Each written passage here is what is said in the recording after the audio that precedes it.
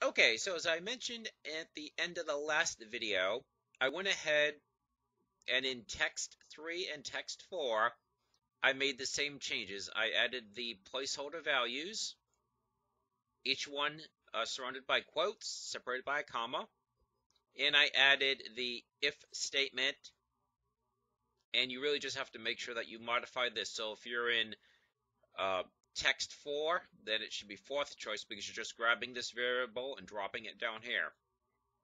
Text 3, third choice, should be there.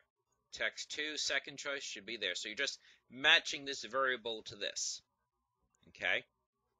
Now, I believe in the other video I already added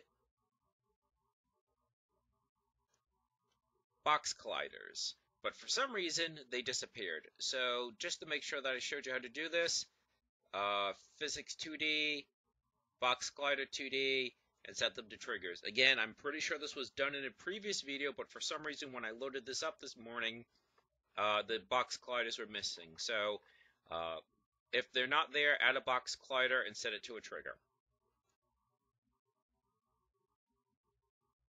So what we're going to do now is we need to track which answer is the correct answer per question and which answer has been clicked on. So let's do that right here. We're going to create a new list. It's going to be a string. We're going to call it correct answer equals new list string and now you're just selecting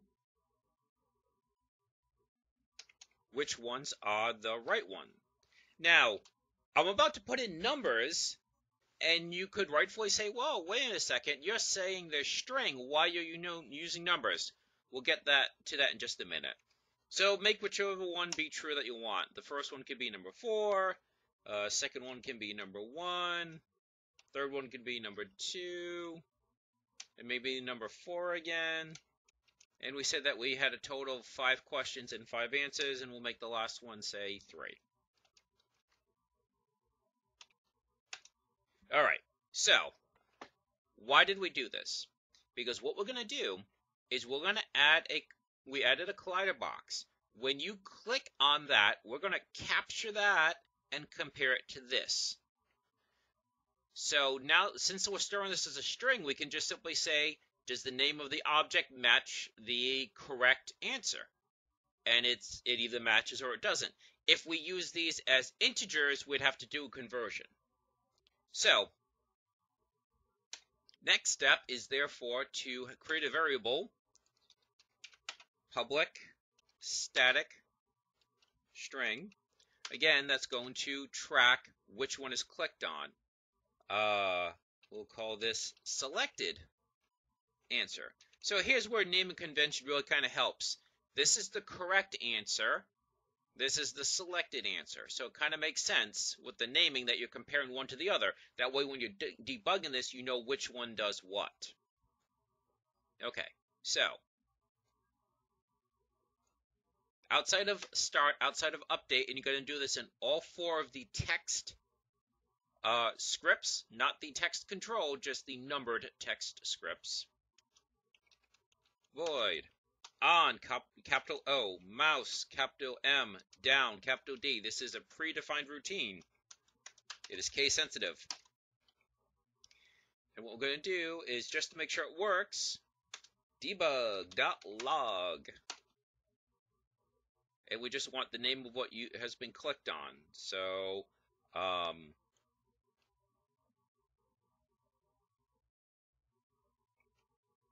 Game object dot name. So what's the name of what I just clicked on?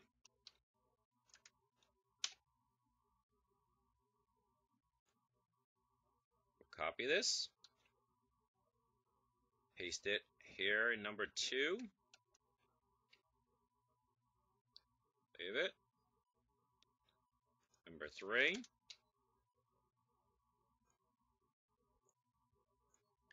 Number four. So this is just making sure the clicking is working. I highly recommend doing this because particularly with complex games when you might have a whole lot of code in here, you don't want to start debugging that unnecessarily. You want to make sure that the click is working. In fact, that's how I found out that the um, collider box had disappeared because I was testing this. It wasn't working. I'm like, oh, my box collider disappeared for some reason. All right, so let's run this. And down here, the name should appear of what I click on. That's number one. That's number two. That's number three. That's number four. We're so close now. So we have a question, the corresponding answers, the ability to click on an answer, the ability to capture the answer you've you've clicked on. Now we just need to compare it. So what we're going to do is we're going to get rid of the debug log and instead we're going to take that new variable we created. So just for consistency we'll go back to text1 and what we're going to do is that variable we just created so text control dot selected answer is equal to game object dot name. So as you saw, game object dot name returned the name of what we were clicking on. So now, rather than just putting it into the debug log, we're going to drop it into that variable. Let's go ahead and do that.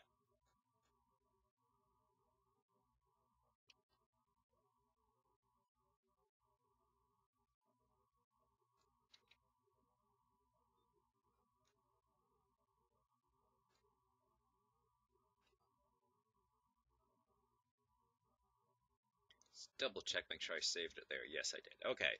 So now what's going to happen is we click on the choices and the values get put into a variable. We now just have to compare and then that's it. So, question is where do we want to do it? I suppose we'll do it right here in the text control, we're kind of using this a little bit like it's a GM object, a game master object, so we can just keep doing that. So what we're going to do is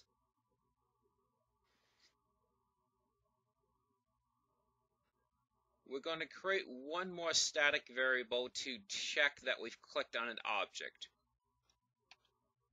So public static string uh, choice selected and it starts off as no. What we do is in here text control dot choice selected now it gets set to Y, gets set to yes. And again, we just copy and paste that. So what we've done now is we've said, okay, let's store the value that of the, the name of the object we just uh, clicked on, and let's set this to yes. And then what we're going to do is we're going to make a, uh, a few decisions based on that. Because once you've selected, you've made a selection, you really don't want someone to be able to make another selection into um, there is some result based on that choice. So we kind we kind of want to uh, have that overt stop that says, okay, uh, something's been selected. Now what? So in the update section of text control, let's do if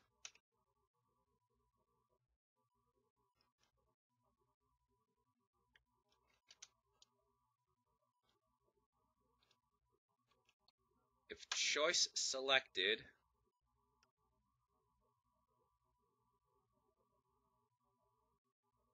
equals yes or y, and sorry, it's got to be a double equal sign. I always mess that up.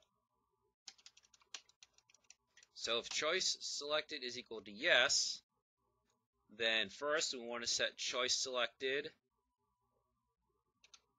back to no, back to n, and then we want to do something. We want to check. If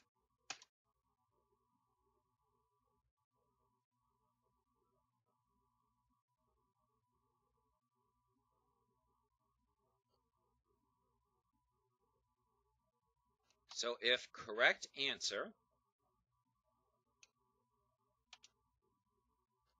and this is a list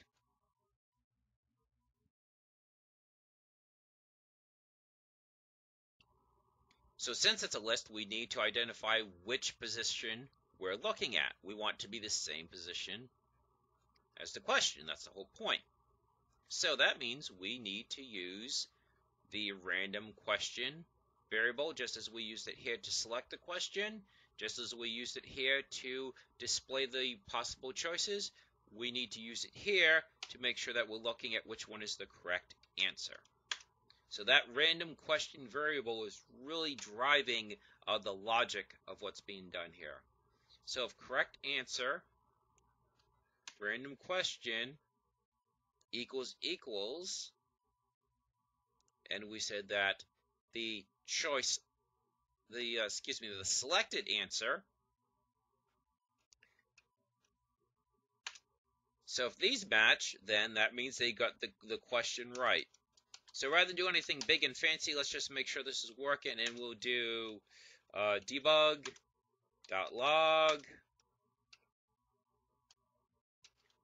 correct.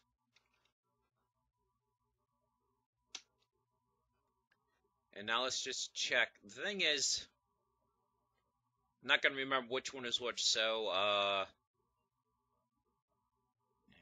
first question.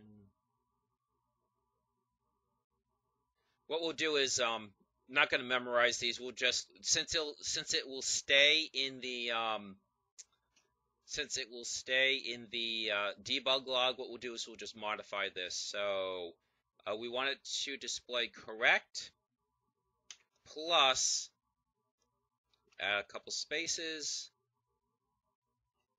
plus uh, we want it to display a random question and then just that value. That way we can compare it in the um, can compare it to here.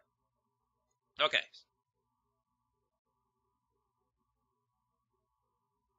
So second question, I believe that's actually number one.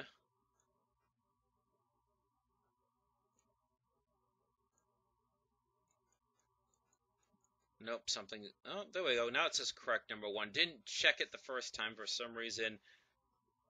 Uh, I'll have to check the sensitivity to that. So, okay, it did display a few times. Didn't think it displayed at first. Let's try that again.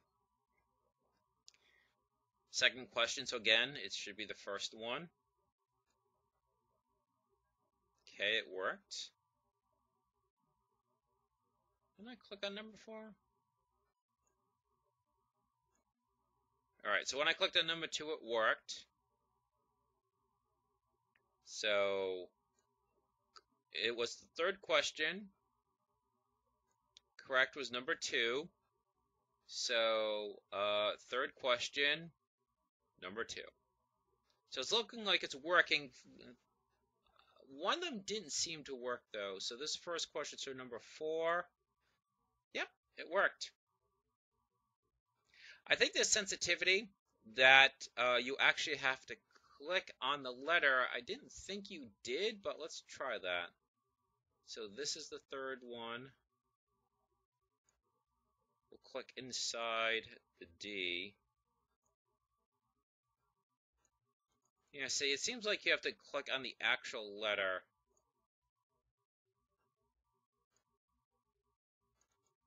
Right, so when I clicked in the space, it didn't work. When I clicked on the word, it did. So it looks like the collider only really works for the name of the object itself. Uh, there's a few ways we can get around that, but that's really good enough for now. So uh, there you go. So uh, you're clicking on the, uh, you get a question, you click on the object, the corresponding answer that is, and we get a correct response. So what I'll probably do is in between videos, I'll probably just do some more typing as far as um, replace the placeholder questions with actual questions like what's the capital of Germany? And then we'll know for certain that it's working at that point because we'll know what the answer is. All right, that should do it for this video.